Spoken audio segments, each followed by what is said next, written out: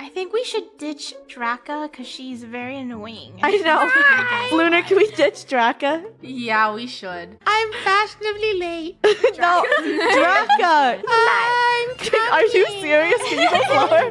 Draca! Oh my god! I was too late. Hurry up and hack faster, Luna. Why aren't you doing anything? Why isn't Draca helping? I saved your life. Be grateful.